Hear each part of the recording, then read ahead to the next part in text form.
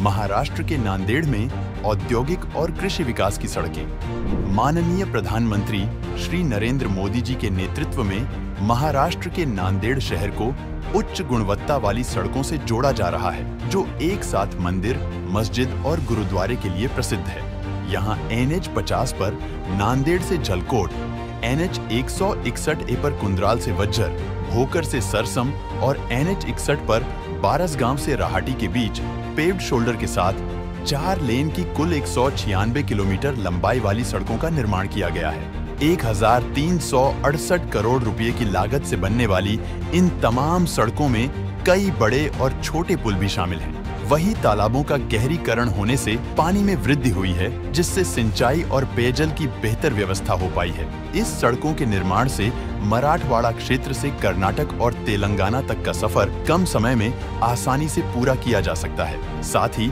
माहूरगढ़ स्थित रेणुका माता मंदिर का सफ़र आसान हो जाएगा।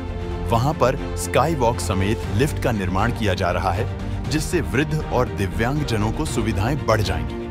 साथ ही श्रद्धालुओं के लिए पार्किंग, रेस्तरां, प्रसाधन जैसी बुनियादी सुविधाओं का बेहतर प्रबंधन किया जा रहा है। वही रत्नागिरी से नागपुर के बीच चार लेन वाली छह किलोमीटर लंबी सड़क का निर्माण होने से कोंकण, पश्चिमी महाराष्ट्र और मराठवाड़ा क्षेत्र के बीच बेहतर कनेक्टिविटी हो जाएगी। इन सबसे नांदेड़ में पवित्र होटल मंदिर, सिखों के तीर्थ स्थल हुजूर साहिब और कंधार किला तक जाना बहुत आसान हो जाएगा।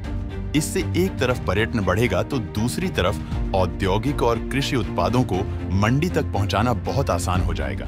ज़ाहिर है कि इससे स्थानीय लोगों के लिए रोज़गार का सृजन होगा।